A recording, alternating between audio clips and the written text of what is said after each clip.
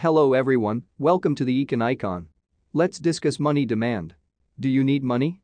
Oops, why not everyone needs money? This is Tamba and he lives in Zimbabwe. He has a simple lifestyle in savanna forest. If Tamba need foods he can find food from the forest. No need to build up home, already he has caved. No need much more fashions for Tamba simple things enough to survive in the forest.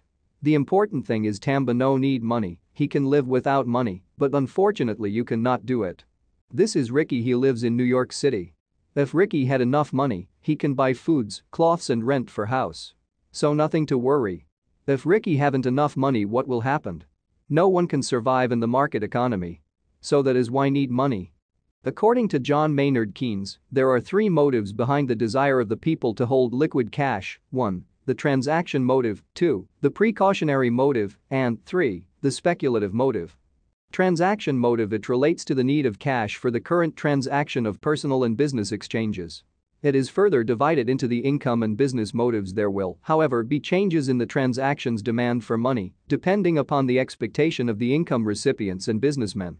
They depend upon the level of income employment and prices, the business turnover, the normal period between the receipt and disbursement of income, the amount of salary or income, and on the possibility of getting a loan. Precautionary motive It relates to the desire to provide for contingencies requiring sudden expenditures and for unforeseen opportunities of advantageous purchases. Both individual and businessmen keep cash in reserve to meet unexpected needs.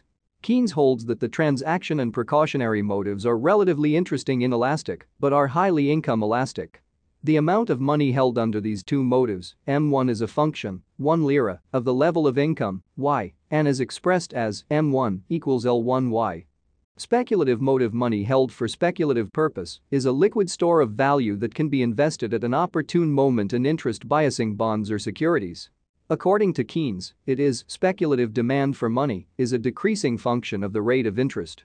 The higher the rate of interest, the lower the speculative demand for money, and the lower the rate of interest, the higher the speculative demand for money. Algebraically, Keynes expressed the speculative demand for money like that. Subscribe to the channel. Thanks for watching. Bye. Bye.